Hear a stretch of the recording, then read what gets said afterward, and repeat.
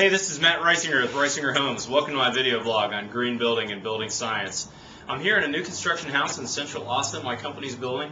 This is about a 2,200 uh, square foot home.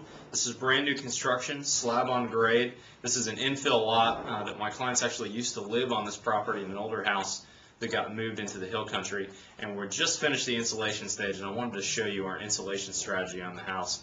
I was just looking up our uh, HERS rating on this house. Uh, we scored a 60.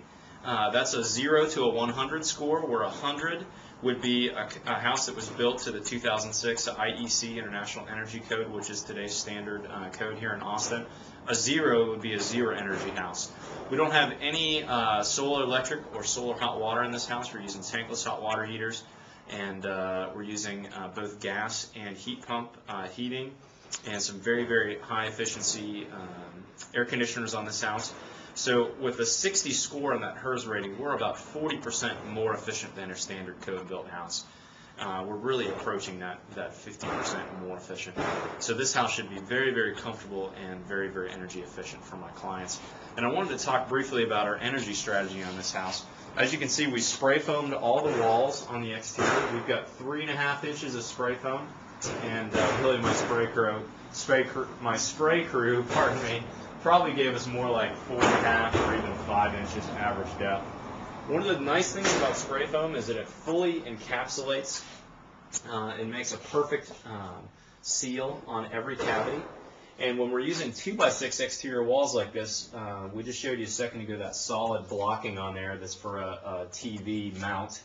So with that 2x6, that triple 2x6 blocking in a 2x6 cavity, uh, we still have a full three and a half inches of depth behind their insulation. And with that spray foam, it's real easy to get that perfect fill every time on that. And then if you pan up here and look at the um, look at this band joist area around the house, that's a very very tricky uh, place to insulate with traditional fiberglass or with a, a blown-in blanket system. But with the spray foam, boy, it just does a perfect insulation job every time. You're not dependent on a perfect installer uh, to get a great spray job. And, um, and you're really getting not only the stated R value, but actually even better from this because it's fully uh, air sealing. It's sealing around pipes, sealing around wires, all those penetrations in the outside of the house. Let's come over here to the west wall of the house. I'm going to show you a couple other things. The homeowners lived on this lot uh, uh, previous previous to us moving the house and uh, building this new one, and they told us that this western-facing wall was really, really hot in the summertime as the sun would come over in the afternoon uh, in this in the southern sky and hit this western wall. It would just be brutal hot over here. So in this wall particularly, they did a really nice job with the architect with reducing their windows on this side. Um, we have very few square feet uh, square feet of windows. And of course, this is also a fairly busy street on the other side here. So uh, we've got the double double benefit of having some good air, uh, or pardon me, some good sound uh, attenuation between us and that street over there. And then on this side, we totally filled all these cavities with spray foam. So we're five and a half inches of depth in spray foam. And again, if you look up to the uh, to the ceiling here, that's our ceiling rafters. We have a um, just a single story portion right here we have at least five and a half inches of depth. It looks to me like the spray foam guys actually probably gave me more for my money. I'm thinking we probably have six or seven inches average depth of insulation. Look at all those pipes and wires penetrating. We've got a bunch of gas lines um, coming through that wall. And I know there's several exterior penetrations. And that spray foam just totally seals up over every one of those penetrations, gives a perfect job every time. That's one of the things I love about it.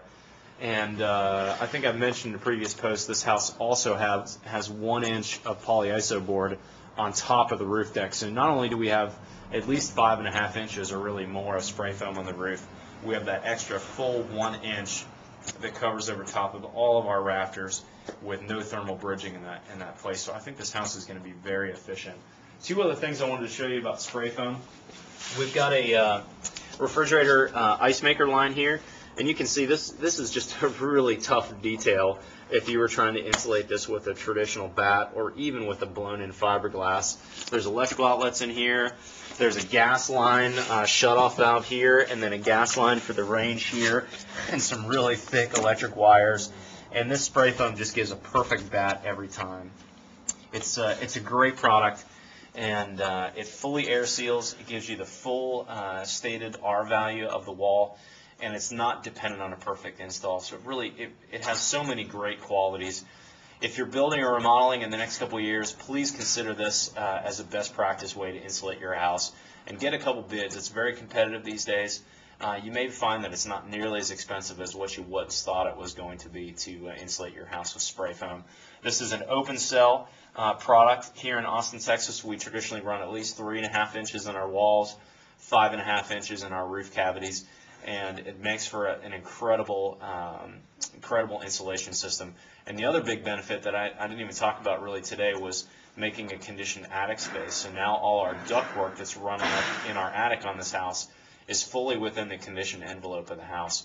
So now our attic temperature in this house will be probably within about five degrees of what the uh, temperature is in this um, kind of living space in the house compared to an attic in Austin that's insulated traditionally with a blown in fiberglass that might be 130, 140 degrees in the summertime.